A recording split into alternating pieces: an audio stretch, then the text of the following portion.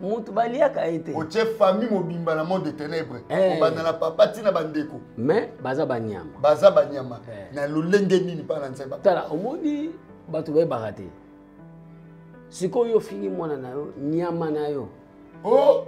ntango ozofinga mwana nyama estce aza motu to aza nyama spirituellement c'est l'identité normale opesi motu na ngai naloba esu likolo ya banyama eza na bato misu alotaka banyama mingi na bandoto na ye bambwa azolota banyama azolota azokende esika moko banyama yango mosu amona yango lokola akobanda akokoma bovie neti moto aolota mbwa moto aolota nyoka eh, donc azokɔta na kati ya contact ya baesprit wana okay. azokota mbala moko na contact ya baesprit wana ngai nde nayebisi bango nakomisi bango baniama libota na yo comme eh. proposition eh. okay. po bango balobi yo okopesa biso nini ngai namonaki ke eloko ya liboso ya bien nakopesa bango yango wana après nalobi nandimi nakufa nazonga maboko pamba nazala esclave ya lucifer nde bakati nga mosapi livre wana efungwami na signe ntango na signe livre wana mpe elimwe bango wana mpe balimwe me nazo se retrouve na likolo ya tombo mais en face na nga na mesela be wana nde place na kozwa bateme nga problème bateme nazwa yango nazwa yango na kati ya cimetière basaki oyo batema ngo ndenge nika nde biso tosalaka la mai oui non tezalaki makila babatisaki ngai na makila basali makila nde batie na bassin non maître atie loboko boa invoke bassin moko makila ebimi na sopre bakiti wana ok mbala moko asopeloka na motu nde basaka na katolike eh, azwi mwa makutu wana ti alobi okombo ya tata mpe ya mwana mpe ya molimo mosantu nga mpe sikoyo nake koluka lolenge nini ya kodetruire bavie ya bato na vie na ngai stage alors banda ngai nasalaki ngai sikoyo nasalaki mo bato bazokisaka bato mm. eh, nake koanvote moto olingi nakata yo olingi nasala yo mabe na obare yo sikoyo wana ngai nafuli bare bare nabandi koloba bare deuxième fois bandi koloba bare banda koloba bare eh, kende kozwa gilete kende kende kozwa moko te zwa 5 zwa 5 kende esubeli yango asubeli yango ale ekata ekata epo ata makila ebebi pa na milungu ekati na yo ah! donc nakoti na kati ya nzoto no navandi osali incarnation na nzoto ya moto ntango osali kaka action ngai nabimi na ngai na telemi yango ezalaka moto asali erreur akwe makanisi esali nini eh, ezongi eh, evangelise nayebi te eloko nini etindaki ngai moto azalaki nde akotaki na kati abandaki kotinda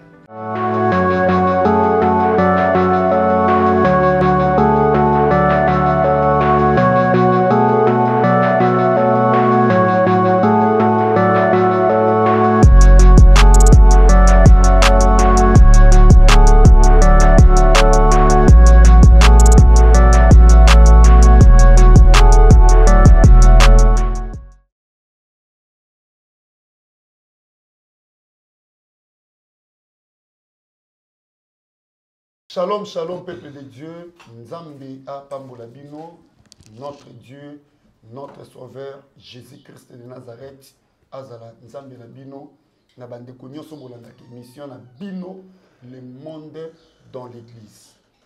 Sixième numéro avec Pasteur Alpha, ou Azalaki, un ancien sorcier magicien tozo continuer je crois que bolandi numéro 1 ti tokomi na 5e oyo lelo 6e numéro nabengisi lisusu mpo toza eza baserie tozokende nzambe apambola bino zwa lien émission oyo partage yango je déclase en qualité d'un homme de dieu yo moto opartage lien émission oyo eza na eloko moko esalemelo ya makasi kouta epai na nzambe efungolelo baporte ozwa réponse eloko moko oyo nano tikala ekoka kozwa te eloko moko bande koluka eza ekokangama nzambe ofungolelo uniquement soki opartage lia émission oyo abonnez-vous massivement si c'est pour la première fois olanda biso nzambe elanga kozangisa te kopambola bino merci beaucoup mama colette carlo depuis londres marie konga bea depuis londres merci ser safi mbarila depuis londres nzambe apambolo makasi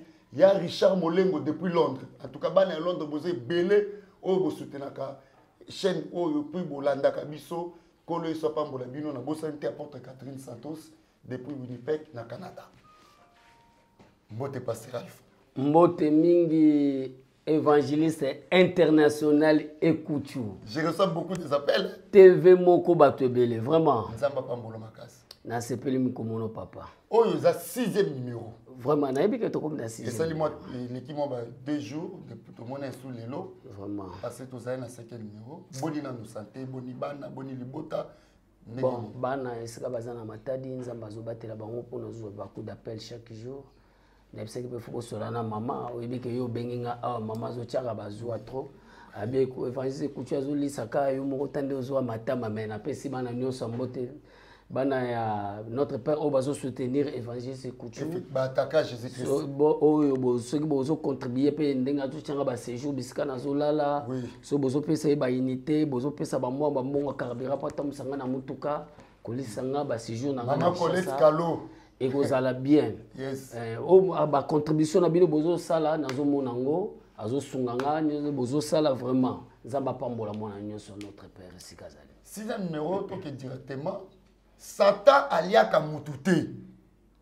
mais abomaka nde nyama eh. qu'est-ce à dire eh, eh.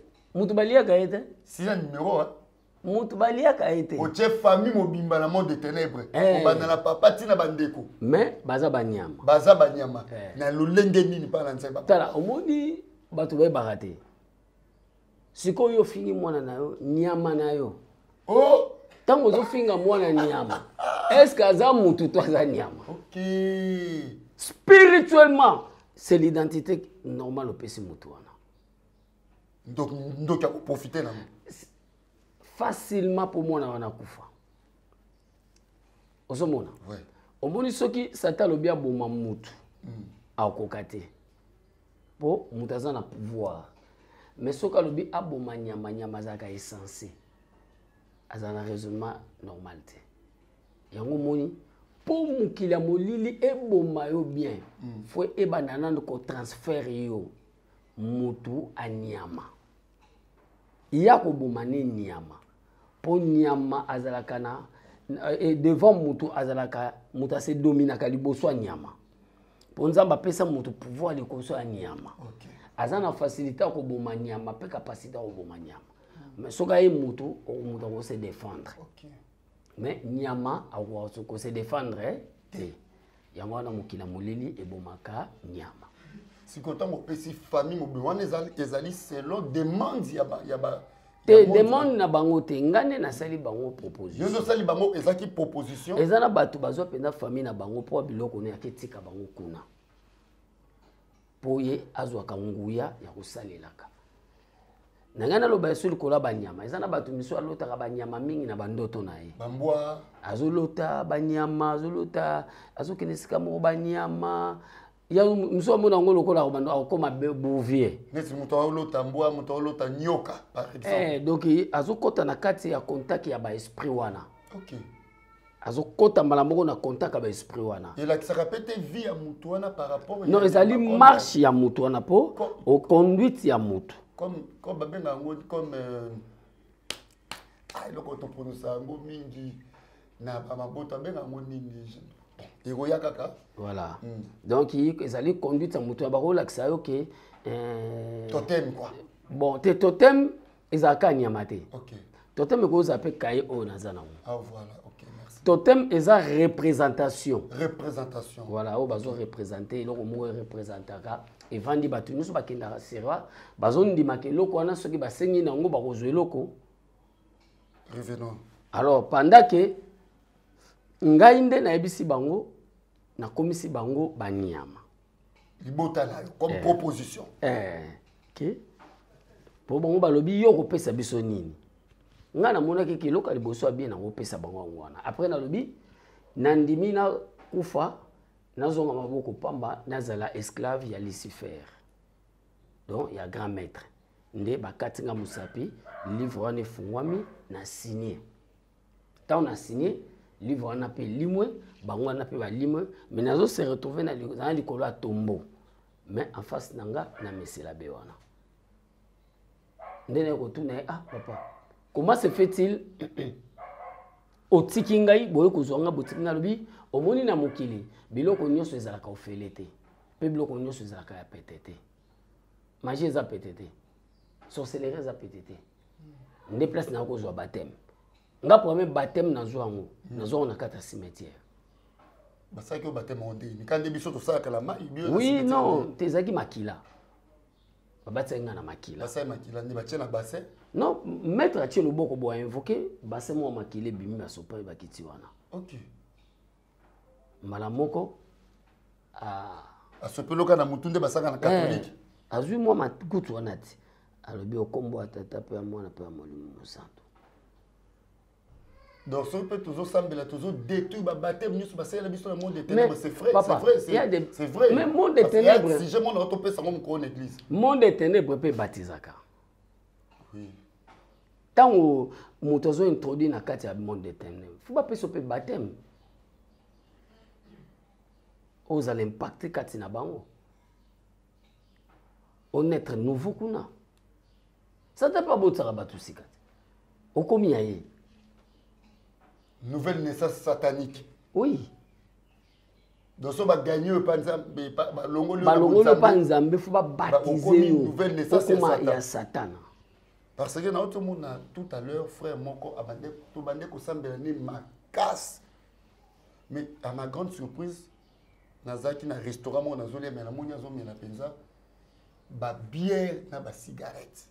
na ye mpe nabengi na bi frère kingandi bonjour atali nga kiti elongo na se mais tellement kwiti ezalaki ah frère ya makambo wa alobi na kaka bo barepeshe ye mpo azonga kuna eh, réclamation mawa baréclame ye tala papa omoni bato mosusu akoya ne mpa nzambe mais basemence netikala kuna qu'est-ce qu'il faut faire eza ata parenthèse tofungoli hein identité na ye yango quand moto ayambi yesu omoni ntango yesu abimisi lazare atikaki lazare afongola yesu afongola lazare basinga te il faut encore le travail faut lazare akende mpa basali na na nzambe baoyo mpe baza na likambo wana ya kofungola bato basila omoni lelo ekomaka motu soki atye motu loboko otiki ye no faut prendre encore du temps ya kolandela motu wana vi na ye kotika ye bongo te papa so moto abongoli motema akomi incible ya makasi ya satana mpo balobi soki bakei bakendaka na le ya tourment le de repos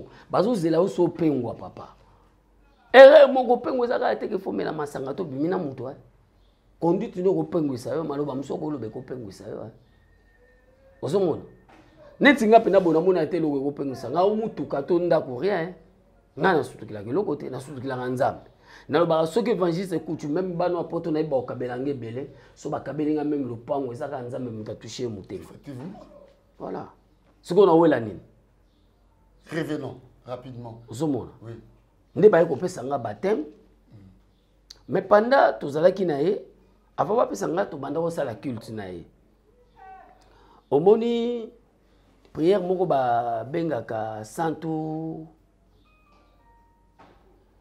bato bazobaka zala na biso hmm, omona basalaka santu eh, santu te yo nde nzambe te ah, wana te eh. batangaka liteni moko santu frédéric to santu eh, noa bandimi balobi zala na biso okay. yo mobateli na biso zala na biso oui, oui. yoka soki losambo na biso zala na biso boya tosangana tobonzela bonza ya misa ya lelo bandimi balobi zala na biso banso omoni wana ntango bakomaka wana ezalaka bakelti canon bango bakelti canononique mm. babenga yango bakelti canon eza moment oyo vraiment basango bakotaka na kati ya necromatie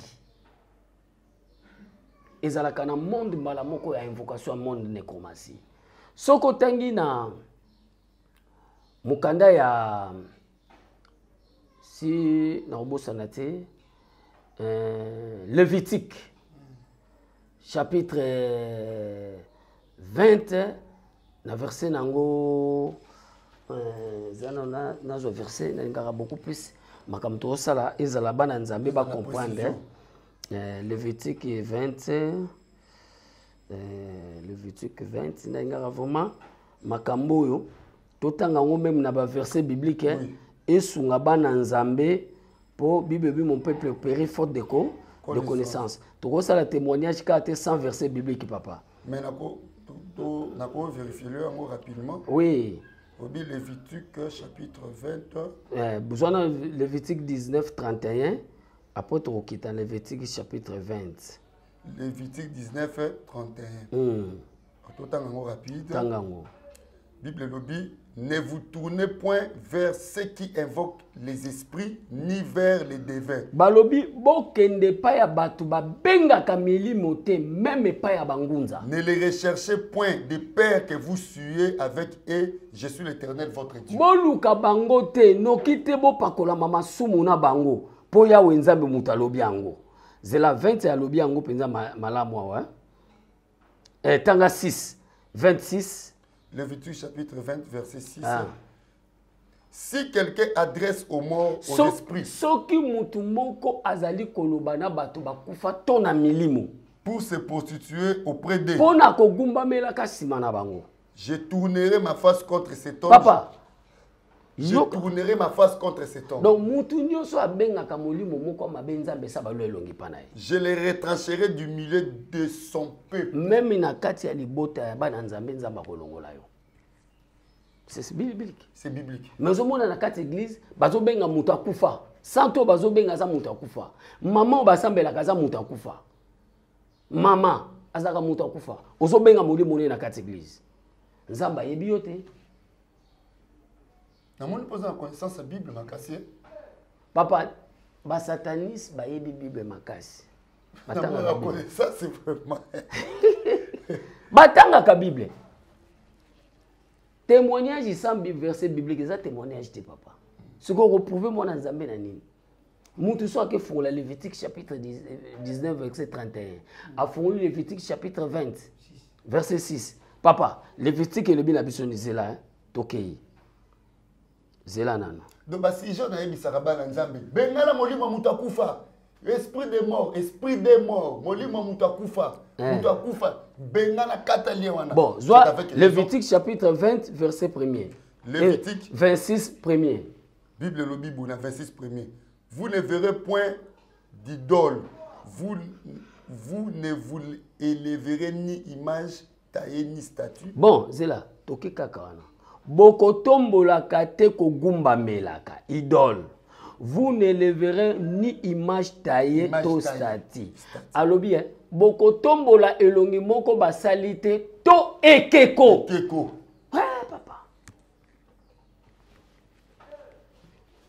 ekeko eh, yango omoni bamusulman nazotombola bango te tozoloba parce que naza na témoignage bamusulman soki moto amoni elangi ya mahomet alakelami mabe botuna bamusulman so mona foto ya mohamada eh, mais biso boolakisa bato elongi ya yesu mpo na nini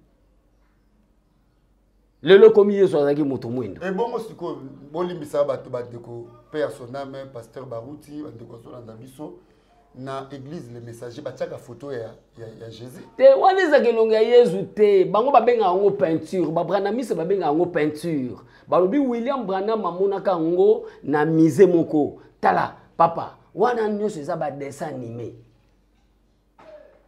tozonga nde ezaka parenthèse hein?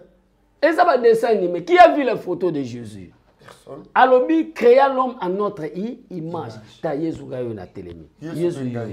ye- yesu ye wana donc i- ntango kanga na tali na bi on a créature ya yesu esili te nakeluka bafoto moko boye mpo na nini yango soki bolobi yesu ayaki motu mwindo to yezu azalaki moto ekolo moko boye ngai baso yezu azalaki na mboka na biso akomaki mpe moto ekola mboka na biso c'est donc normal donc babiloko moko omoni bato bazomema bato na boyebi te nde na kati ya cimetière meselabe wana abandaki kobenga nde nabandaki classe Classe na ngai ezalaki koyekola lolenge nini ya kosala voyage astral lolenge nini ya koboma mutu lolenge nini ya koyiba mutu lolenge nini ya kosala vol malin lolenge nini ya kosala multiplication premier stage moto ya liboso nabomaki nabomaki par badire ya mama na ye yango naye okoyebi biso yake lelo eza na bato mosusu aza na ndako ya libala libala ezosimba te maloba nini balobela yo oza na kati ya mosala ozwaka mosala te maloba nini balobela yo bala totala yo sala totala yo donc mama alobelaka kaka mwana yo okobonga te yo okokoma motu monene te nanu namona te mama eh? alamuki na ntongo azobeta mwana ne premier ministre député pdg yo euh, ingénieur yo nanu namona moto azobeta mwana te na ndenge ya elevation me babetaka kaka mwana na ndenge ya komodire Or, Bible elobi la vie ou la mort sont au pouvoir de la langue. C'est le proverbe.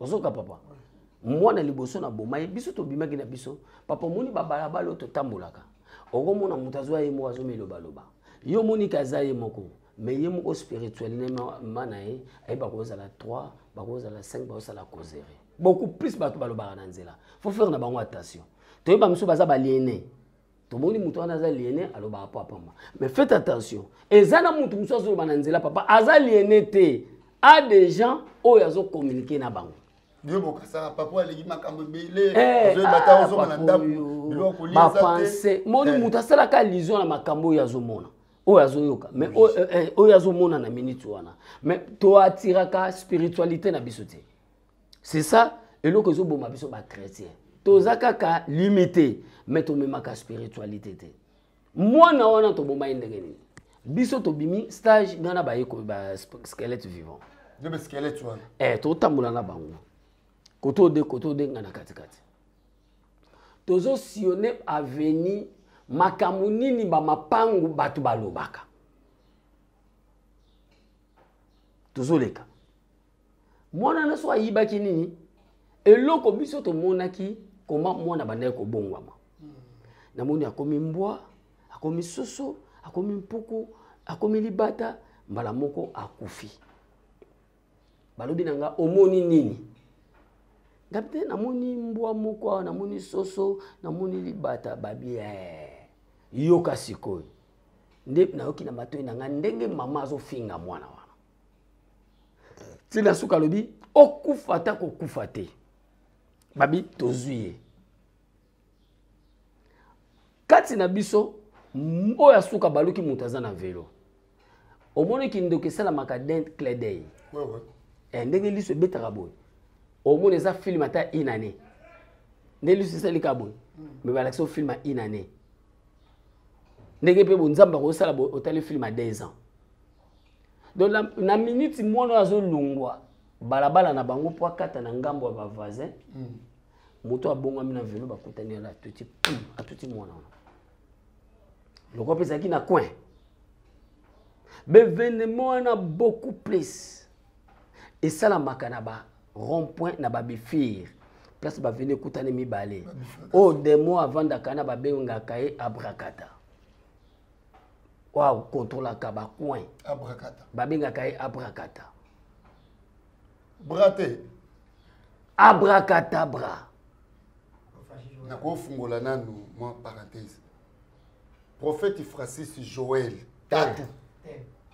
aloba abrakatrapa na kati eglise eh, bongo bango bongo bango bayokaka so soni bango na mosusu ya soni katala te bango omoni na babato bakendaka kuna babato si bakanga baesprit na bango ya d'autres baeglise bandimi na bango to bazalaka bloke akobima te bazwa même esprit ne bakenda yango na deuxième monde bakanga non oui mais même église même église même église ezoteka baame eza na baeglize ebele na mboko ekanga bandimi lokola babien privé na bango mondimi wana koyo eza na manto mbanga koloba te mpo abima mpo satanisme oyo aza na kati eglize wana akanga bango nga kutu le frère la otangi nkombo na ye yo moto ozwi ntango kotanga nkombo na ye nga amona ye kaka lokola musicien nazwaki kaka sapere bon nayebaka te na calendrier ya bonzambe soki azalaka bon moto ayebi ayebi ye malamu eza nzambe omoni bateme ebele bato bakoma kopesa yango futu biso bapase toyeba teme opesi